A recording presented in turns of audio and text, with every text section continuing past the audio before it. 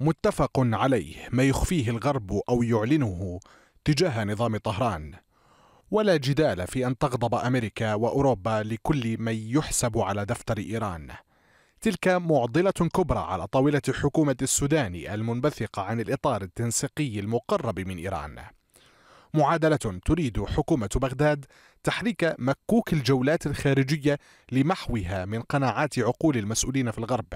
سيما بعد أن وثقت صحف عالمية ارتباط ما يحدث من تدهور في سعر صرف الدولار مع متانة علاقة الحكومة العراقية بالنظام الإيراني. وهو ما يجب بحسب محللين أن تعمل الحكومة على نفي إثباته تحديدا بتمتين الصفوف الأمنية مع واشنطن التي لا زالت تفتح أوراق خطة استراتيجية بدأت بكتابتها مع حكومة بغداد السابقة.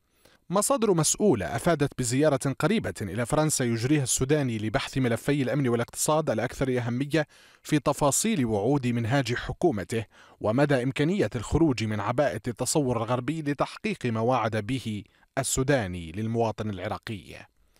جولة مرتقبة صرحت بها سفيرة أمريكا لدى بغداد أيضا ستجريها الحكومة إلى واشنطن بعد حراك فاعل لوحظ في الآونة الأخيرة حول لقاءات أمنية مع حلف الناتو من جهة وملف وجود القوات الأمريكية التي تمسكت به الحكومة وعاصفة الدولار ورقابة الفيدرالي الأمريكي لتجاوز قصة التهريب التي تحاول من خلالها طهران مواجهة العقوبات الأمريكية الاقتصادية والغربية على حساب العراق.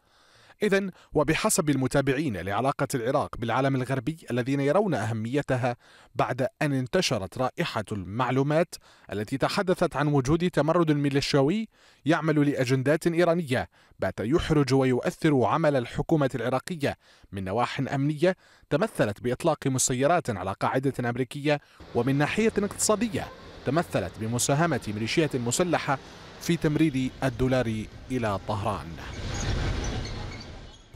Thank you.